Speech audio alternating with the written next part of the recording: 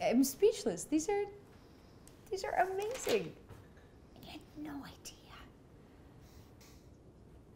No clue? There's something here, Daryl. I mean, you know, I, I don't know what it is. I got to process, but there is definitely something here.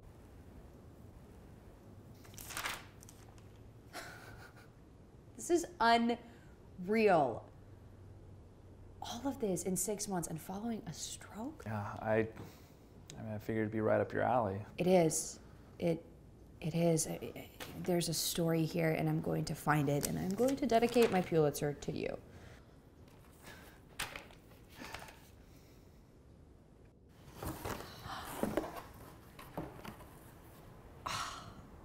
Is this her?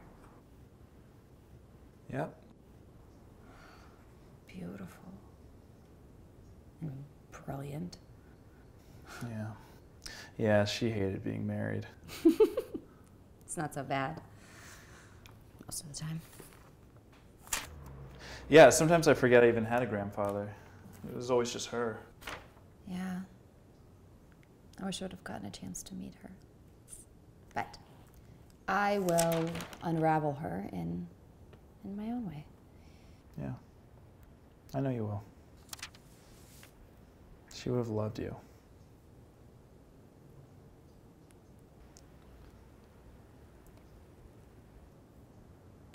What? Huh?